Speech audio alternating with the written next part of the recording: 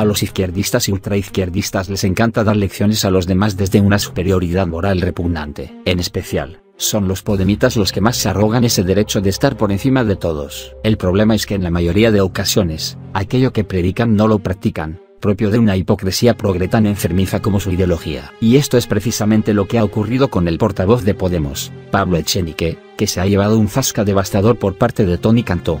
Echenique pretendía defender a Lilith Bestringe, tras los rumores que la vinculan sentimentalmente con Pablo Iglesias. Su estrategia, como la de todo el partido, es la de recurrir al argumentario de siempre todo el que lleve la contraria es un machista. Así, el portavoz de Podemos cargaba duramente en Twitter diciendo, esta obsesión y esta violencia de las ultraderechas políticas y mediáticas con las mujeres de Unidas Podemos es machismo rancio pero también es estrategia electoral. ¿O a qué partidos pensáis que votan los maltratadores de mujeres, los abusadores sexuales y los incels? Como observamos, unas declaraciones asquerosas y completamente falsas, que hacen uso de un tema tan delicado para hacer política, en una vileza sin igual. Por ello, llegaba un repartidor de fascas experto, el exdiputado Tony Cantó, futuro diputado junto a Isabel Díaz Ayuso en Madrid, que le recordaba a Echenique varias cositas que no le han gustado nada al nacido en Argentina. Cantó se refería a la pregunta formulada por Echenique, donde decía, ¿o a qué partidos pensáis que votan los maltratadores de mujeres, los abusadores sexuales y los infels? Contestando,